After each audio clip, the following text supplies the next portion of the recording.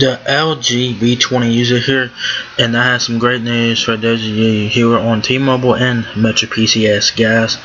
So I'm on TMobileNews.com here reading out this article, and as you guys can see by the title of, this article, says T-Mobile may increase the deprioritization threshold to 50 gigabytes. 50 fucking gigabytes, guys. So um yeah, so um uh yeah, so that's good news for those of you here on T-Mobile and Metro PCS. Alright. Uh, just ignore the ads and shit. Um, here's the original. I'm gonna read the original here. Um,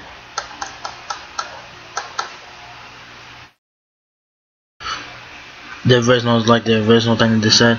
It says after raising its deprioritization threshold to 32 gigabytes back in May, it looks like T-Mobile is set to bump it up again this week. On September 20th, which is tomorrow, today September 19th on the East Coast, is about 1 o'clock here on the East Coast. September 19th, tomorrow, September 20th, T-Mobile will increase its fair usage threshold from 32 gigabytes to 50 fucking gigabytes.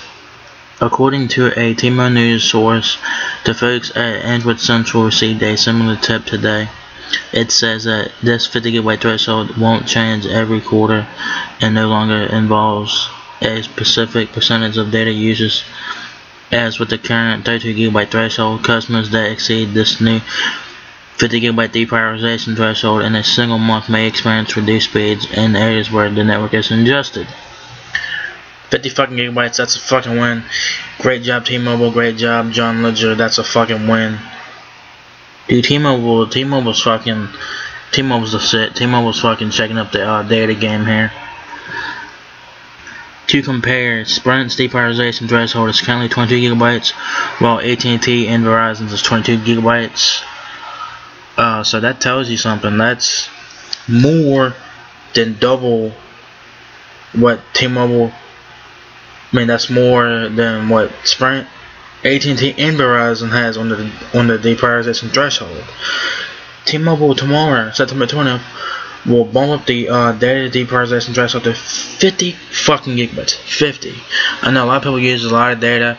Uh, I knew I, I use like a couple hundred gigabytes. I use a few hundred gigabytes every month, probably. Ever use like a lot of hotspot and streaming shit. But I do use a lot of data on my Verizon on the unlimited plan. Uh, but 50, 50 fucking gigabytes before you're uh, deprioritized, it's a fucking win. I mean, dude, that shit's fucking crazy. And not only is for uh, T-Mobile customers, it's also for Metro PCS as well on, the prepaid side of things. So I thought when T-Mobile, I thought when T-Mobile raised its uh, threshold to 32, I thought that Sprint, AT&T, and Verizon would respond. So far, they have not responded. So they're keeping it the same. Sprint's 23 gigabytes, AT&T and Verizon are 22 gigabytes before you deprioritize. Uh, T-Mobile regularly touts its network having America's best unlimited network. Every carrier says that. And while this isn't true unlimited, it it would still be it would still be good to see T-Mobile once again increase its deprioritization threshold and widen the gap between it and its competition. Some customers will still be will still be affected with the new threshold, but this change will give T-Mobile customers much more data usage each month before having their data deprioritized. Um, so that's a fucking win starting tomorrow, September 20th. Data deprioritization gives to 50 gigabytes from T-Mobile and Metro PCS. Uh, here's the update. Um, it says while T-Mobile hasn't issued an announcement regarding this news, the official T-Mobile, the official T-Mobile help Twitter account just tweeted 3920 the, the limit will be increased in response to a question about this leak. Um, I also have the T-Mobile News Twitter page loaded up here with the tweet. That's the official tweet right here. That's the official tweet right there. Um, that's the tweet right there from T-Mobile News. Uh, starting tomorrow, September 20th. Dude, this shit's fucking crazy, man.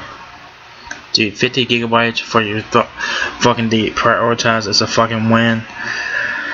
Dude, I hope team, I hope AT&T, Sprint, and Verizon will respond to this, and I hope they'll uh, up their um deprioritization threshold as well. I hope so, because T-Mobile is running away with with the data game here. They're running away with it. What's next? 100 gigabytes before you're uh, deprioritized? That'd be crazy if that ever if that ever happens. You never know. But 50 but 50 gigabytes before you're deprioritizing T-Mobile and Metro PCS is a fucking win. And I know that a lot of T-Mobile and Metro PCS customers will love that. And uh, we'll see if uh, Sprint Verizon and the AT&T respond. We'll see, because they didn't respond to it when uh, T-Mobile raised it to 32 gigs earlier earlier this year. They didn't respond to that. They still kept it the same. Sprint's at 23, AT&T and at 22 gigabytes before you deprioritize. So, uh, great job T-Mobile, great job John Legere, and dude, this shit's fucking insane. 50 gigabytes before you uh, deprioritize. That's fucking insane. That's insane, dude. I hope the other carriers will respond because, I mean, this shit's fucking huge. Shit's fucking huge, guys. So yeah, guys, what you guys think about T-Mobile and Metro PCS uh, raising its uh, deprioritization threshold to 50 gigabytes starting tomorrow, September 20th? I know a lot of T-Mobile customers and Metro PCS customers will love this, and hopefully the other carriers will respond. We'll have to wait and see how this plays out over the next coming days, weeks, and months and shit. So yeah, guys, if you guys enjoyed the video, give me a thumbs up, guys. It will help me out a lot. Please like and subscribe. Thank you very much for watching my video, and I'll catch you guys in the next one. Peace out.